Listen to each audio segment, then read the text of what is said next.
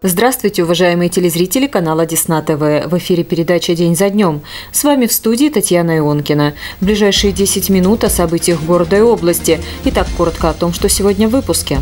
Ровно 75 лет, лет назад, 29 сентября, в городе Киев прошло страшное массовое убийство евреев. Международный день против фашизма. Рост респираторных заболеваний незначительный. Оперативное совещание в администрации. Сегодня для села Новоспасское э, не только праздничный день, Освящение нового храма в Новоспасском.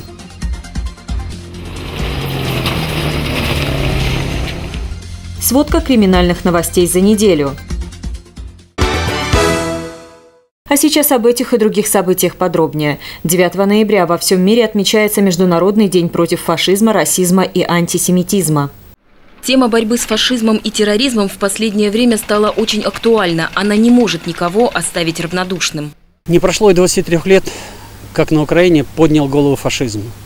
За 23 года украинское правительство сумело полностью переформировать молодое поколение. Поэтому у нас на родине очень важно не упустить этот момент, чтобы наши молодые люди обязательно помнят, что такое фашизм, что такое антисемитизм и что такое русофобия. К этому мы должны стремиться. Ежегодно в этот день во многих странах проходят акции в память о жертвах нацизма, террора на национальной, расистской и антисемитской почве. В этом году впервые при поддержке Десногорской центральной библиотеки и Совета ветеранов наше молодое поколение также почтило память погибших в этой страшной войне с фашизмом и обратилось к десногорцам. Ночь с 9 на 10 ноября 1938 года произошел массовый еврейский погром в Германии, получивший название «Хрустальные ночи» или «Ночи разбитых витрин». Эти события в 1938 году положили начало Холокосту, массовому насилию в отношении еврейского народа, которое привело к гибели около 6 миллионов евреев. Необходимо помнить о том, каким может стать будущее, если мы вовремя не скажем «никогда больше» в ответ тем, кто предлагает ограничить права людей только потому, что они не такие, как мы. И мы говорим Никогда больше!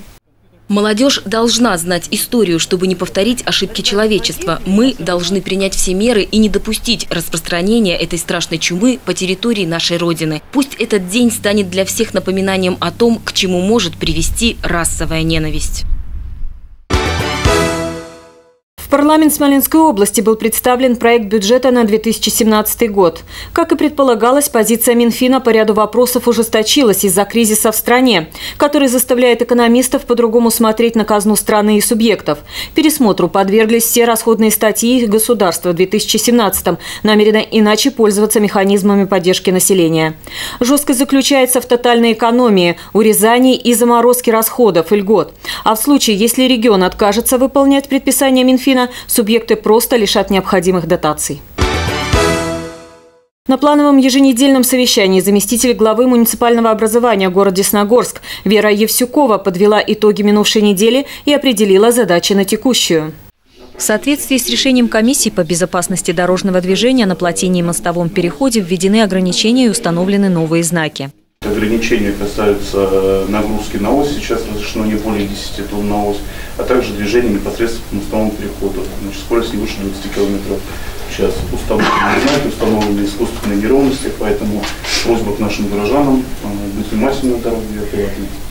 Многофункциональный центр оказывает услуги для десногорцев по получению разрешений на строительство объектов капитального строительства и ввод их в эксплуатацию. В школах города уже начались занятия. На каникулах педагоги Десногорска приняли участие в семинаре концерна «Росэнергоатом», который проходил в Нижнем Новгороде. А победители проекта «Слава Созидателям» отправились в Москву за долгожданными подарками. Уровень безработицы в Десногорске на данный момент составляет 0,73%. До Нового года он вырастет из-за сокращения 137 человек с предприятий предприятий города. Рост острыми респираторными заболеваниями среди горожан невелик. Случаев обращения с диагнозом грипп в медсанчасти не зафиксировано.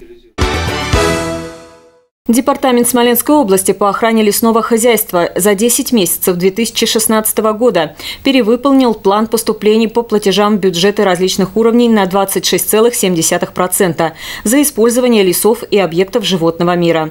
В денежном эквиваленте это почти 40 миллионов рублей.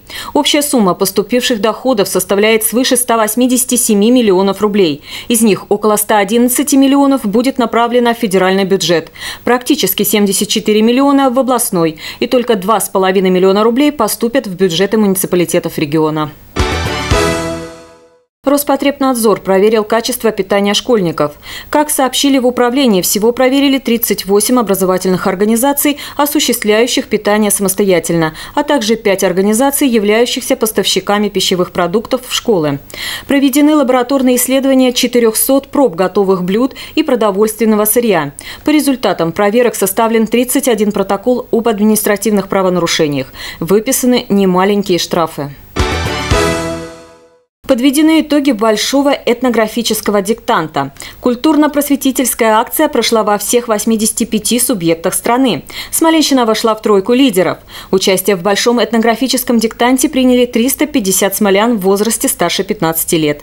Написать диктант можно было на семи площадках. Согласно результатам, средняя оценка за диктант по стране составила 54 балла из 100 возможных. Самый высокий балл у жителей Республики Татарстан. На втором месте – жители Кабардино-Балкарии. Балкарской республики, а на третьем – Смоляне. Очень символично, что освящение восстановленной церкви в Новоспасском прошло в День памяти Казанской Божьей Матери и российского праздника Дня Единства. Об этом мы расскажем в нашем сюжете. Часовня на кладбище в Новоспасском была разрушена после революции, и вот почти через столетие она воссоздана как храм с иконостасом в честь Казанской Божьей Матери. 4 ноября прошло торжественное освящение церкви. Храм восстановлен на собственные средства депутата областной думы, директора акционерного общества «Атомтранс» Михаила Лосенко. Осветил церковь настоятель Десногорского храма Божьей Матери всех скорбящих радость протеерей Виталий Сладков. И сегодня для села Новоспасское не только праздничный день, связанный с Днем Народного Единства, Казанской иконы Божьей Матери, а еще и великое духовное торжество, потому что здесь, в этом воссозданном храме, который по благословению тогда еще митрополита Смоленского и Калининградского, а ныне святейшего патриарха Кирилла, из часовни а, воссоздан был как храм с алтарем, иконостасом, освящен сегодня, и в нем совершена божественная литургия, чтобы люди, приходя сюда, не только сюда, но и во все остальные храмы, заботились о том, чтобы всякая смута оставила наши сердца, наши души и нашу жизнь. Принимая во внимание усердные труды во благо Русской Православной Церкви и за помощь в восстановлении храма в Новоспасском, отец Виталий вручил медаль Смоленской епархии в честь чудотворной иконы Смоленской Божьей Матери Адигитрии Михаилу Васильевичу Лосенко. Архиерейскую грамоту получил Игорь Григорович. Благодарственными письмами награждены Елена Усачева, Сергей Беликов и Сергей Гудин. На церкви висит табличка с цитатой из послания апостола Иакова «Вера без дел мертва есть». Она подтверждает истинное отношение создателей храма к православию православным святыням. В Смоленской областной детской библиотеке имени Соколова-Микитова подведены итоги областной интернет-викторины «Мое Отечество Русь», посвященной 215-летию со дня рождения русского ученого Владимира Даля. В викторине приняли участие более 100 юных читателей детских и сельских библиотек из 20 районов Смоленской области. Абсолютным победителем интернет-викторины по решению жюри стала Десногорка Юлия Лебедева. А сейчас блок криминальных новостей. В Смоленске подростки избили и ограбили мужчину. Житель Галынок, работающий в Смоленске, опоздал на вечерний автобус и решил пересидеть ночь в баре. Там на него напали трое молодых людей, избили его и забрали куртку, в которой лежали документы, телефон и деньги. Грабителей поймали, теперь им грозит до 7 лет лишения свободы. О криминальной обстановке в Десногорске за минувшую неделю нам расскажет майор полиции Романова. За прошедшую неделю в дежурную часть поступило 116 сообщений о происшествиях. Из них два сообщения о преступлениях. Зарегистрировано 9 дорожно-транспортных происшествий с техническими повреждениями. Выявлено 111 административных правонарушений, в том числе 98 нарушений правил дорожного движения, за распитие спиртных напитков, а также появление в состоянии алкогольного опьянения в общественных местах к административной ответственности привлечены 4 человека. На должность заместителя начальника управления МВД по Смоленской области приказом от 3 ноября назначен полковник полиции Александр Мешков. Александр Андреевич родился в 1964 году в Краснодарском крае.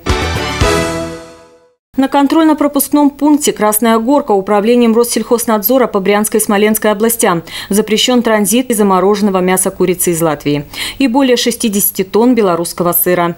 При досмотре было установлено, что номера партии, указанных в удостоверениях качества, не соответствуют реальным. Груз вернули отправителю.